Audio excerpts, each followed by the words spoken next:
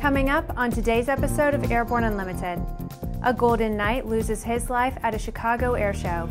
A drone racing league may be formed. This pilot helmet seems like science fiction, but it's not.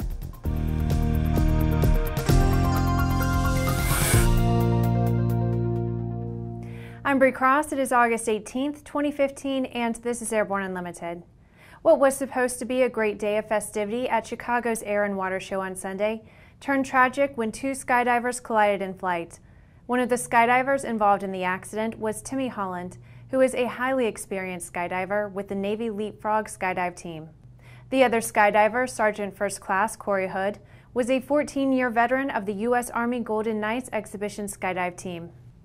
It has now been made official by Northwestern Memorial Hospital officials that Sergeant Hood succumbed to his injuries. It appears from video recordings that he was descending on a reserve parachute but collided with tall buildings, resulting in an uncontrolled fall to the ground. The Navy skydiver received serious but non life threatening injuries. The exact cause of the accident is still under investigation. We at ANN express our sincere condolences to Sergeant Hood's immediate family and to his U.S. Army brothers and sisters. Video gamers versus military unmanned aircraft operators. That's the premise behind the Drone Racing League, which got a lot closer to reality last week when Miami Dolphins owner Stephen Ross plunked down a million dollars into the idea through his RSE Ventures firm. ESPN reports that the league will feature races that pit self taught UAV pilots, mainly out of the video game world, against pilots that were trained to fly UAVs in the military. RSE Ventures president and CEO Matt Higgins said, quote, it has all the makings of a modern day sport. The pilots have to have great reflexes and hone their skills over hours and hours of practice. And first person viewing lends itself to an amazing spectator experience with virtual reality. End quote. For racing, the pilots will wear special glasses that will allow them a first person view of the aircraft's flight path. The aircraft will fly up to 70 miles per hour, according to the league. As we at ANN see it, any organized activity involving the recreational use of drones is a step in the right direction towards responsible operation of personally owned UAVs. And on a personal note, it sounds amazing. After the break, a synthetic vision helmet sees through the airplane. Now certified, Aspen Avionics single band ADS-B ATX100 and ATX100G transceivers are the next gen ADS-B solution that provides the features pilots need while keeping flyaway costs low. Check it out now at aspenavionics.com. Redbird is quickly becoming the industry standard for flight training. Since Redbird introduced its revolutionary FMX in 2007, colleges, universities, and flight training operations around the world have integrated Redbird products into their curriculum. It's time to discover what Redbird can do for you. Join the migration.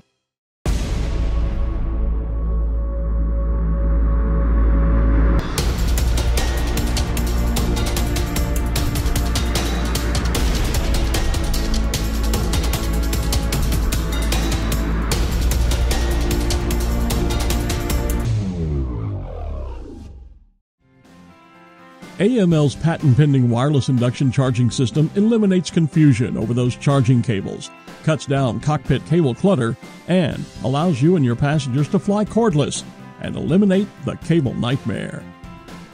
www.aviationmodificationleaders.com.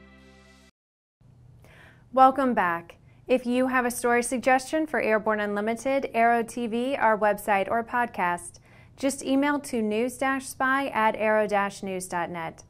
Senator Joni Ernst, Lockheed Martin, and Rockwell Collins executives commemorated the delivery of the first generation 3 F 35 helmet mounted display system, known as the HMDS, last week. In addition to the HMDS, the Lockheed Martin F 35 Lightning II demonstrator was on site at the Cedar Rapids headquarters of Rockwell Collins. Senator Ernst said, quote, Today's visit was an opportunity to place focus on Rockwell Collins, as manufacturing makes up such an important part of our economy here in Iowa. Having served in the military for over 20 years, I appreciate the company's efforts in support of our national defense, our armed forces, and our veterans, end quote.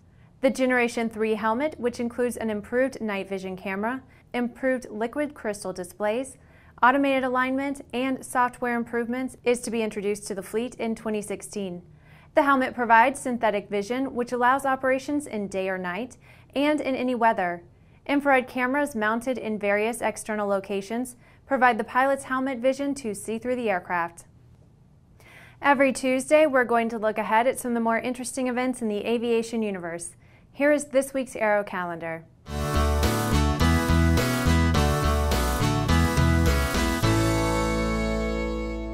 On August 22nd, you'll find another AOPA event at their Minneapolis Fly-In. Join AOPA and your fellow pilots and aviation enthusiasts for the AOPA Fly-In at Anoka County Blaine Airport. The grassroots gathering features something for everyone with exhibitors, aircraft displays, seminars, and activities to interest and delight your entire family. Now we move to Flagstaff, Arizona, where August 22nd marks the event known as Thunder over Coconino. It's a fly-in and car show featuring rides in a P-51 Mustang or Ford Tri-Motor with Young Eagle flights tossed in for the kids. There will also be a program featuring the Tuskegee Airmen. This event, taking place on August 22nd and 23rd, has a name that's a mouthful. It's called the Wings and Warbirds over Port Clinton RC and Full Scale Air Show. It's being held at the Erie Ottawa International Airport in Port Clinton, Ohio, it's a complete air show that includes warbirds, model aircraft, and a lot more. Now here's a special event being held August 26th through August 30th. It's called Operation LZ Welcome Home Vietnam Era Veterans. The Welcome Home event will be held in Forest City Airport in Forest City, Iowa. The goal of the event is to make all Vietnam era vets, their spouses, children, and grandchildren feel welcome in joining together with their brothers and sisters of the war. Weekend activities include a full-blown air show. Everyone is welcome. After these messages, UN helicopters in Nepal underfunded.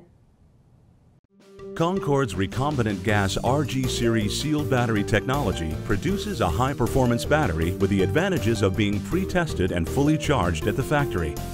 Find out more about Concorde's entire line of batteries at www.concordebattery.com. Concorde, the heart of your aircraft.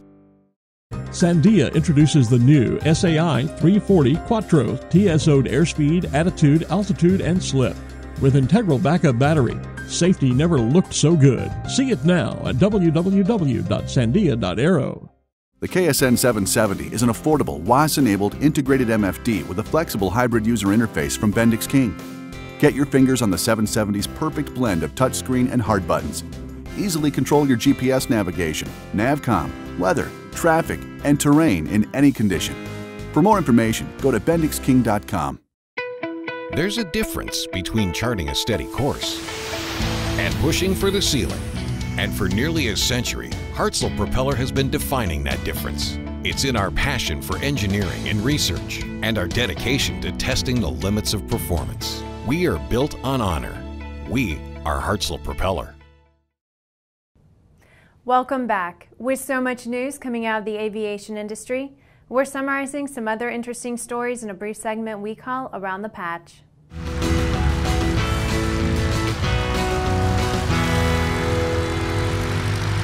The United Nations office in Nepal says that helicopter relief services for areas hit by the recent earthquake may be cut short due to a funding shortfall. To date, only $8.8 million was received, leaving a $9.2 million shortfall. A special week is about to begin for approximately 30 students from Aalborg University in Denmark. Their satellite will be launched to the International Space Station aboard the Japanese HTV-5 cargo vehicle tomorrow. Their CubeSat will be deployed a few weeks later.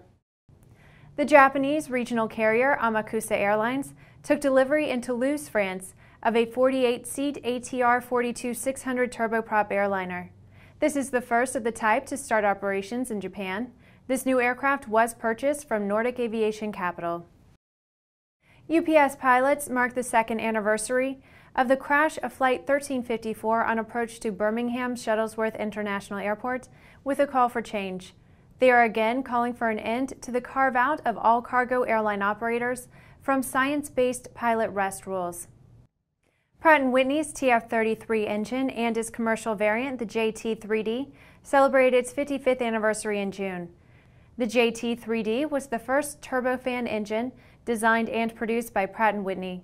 Production ceased in 1985 and more than 1,100 are still in use today. Well, that's our trip around the patch. Now let's move on to the rest of the news. Ever since the Connecticut State Legislature decreed that their favorite son, Gustav Whitehead, was the first person to successfully fly a controllable powered airplane, a battle has ensued with the National Aviation Heritage Alliance, also known as NAHA. NAHA, which is located in the state of Ohio, is a major supporter of the historic significance of what the Wright brothers accomplished, and they hold the position that the Wright brothers deserve the credit they have had all these years as the first to fly a controllable powered airplane. Now, NAHA has announced it is donating aviation history books to the Connecticut State Library in honor of National Aviation Day, which falls on August 19th. It appears this is a not so veiled way of saying we are not calling the Connecticut State Legislature stupid, but we do think they're ignorant. NAHA is donating one copy each of The Bishop Boys, A Life of Wilbur and Orville Wright by Tom D. Crouch, Visions of a Flying Machine, The Wright Brothers and the Process of Invention by Peter Jakab, and The Wright Brothers by David McCullough. If you haven't read these books, you've missed out on some fascinating history. Well, that's our program for today. Remember to get comprehensive real time 24 7 coverage of the latest aviation and aerospace stories anytime at aero news.net. Remember that Airborne Unlimited is streamed daily Monday through Friday with additional breaking news bulletins for important stories that fall outside of our normal deadlines. Please join us and a growing roster of over 100 outstanding industry associations and organizations every weekday for the best in aviation and aerospace news from the staff of the Aero News Network, the aviation world's most comprehensive news and information resource.